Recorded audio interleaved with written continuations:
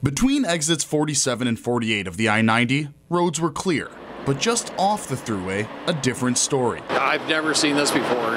Just terrible. I mean, it's just it was mayhem everywhere. Mayhem on the side streets. You're pulling your hairs out, just just trying trying to trying to make it work. During the I 90 standoff, police needed to make sure the thruway was safe which meant overcrowding around exits. Once I got off of 47, I mean, it was just a dead stop for at least minimum of four hours. For a lot of truckers, they can only drive so many hours per day, which could mean missed deliveries. Yeah, I'm not gonna, I'm not gonna make it on time now. There's drivers all on the side of the roads now because they ran out of hours on the side of the road. Because if I run out, out of hours, then then what do you do? So for some, that means they'll have to stay put. I'll be here probably about till four o'clock in the morning, hopefully, and then I'll shoot back on the road. For others, a much longer night than anticipated. I am going to try to get home as quick as I can. Now, these truckers are in for the night as they need to get their mandatory rest hours in for the day. However, it's going to be an early morning for them as they look to make up for some lost time.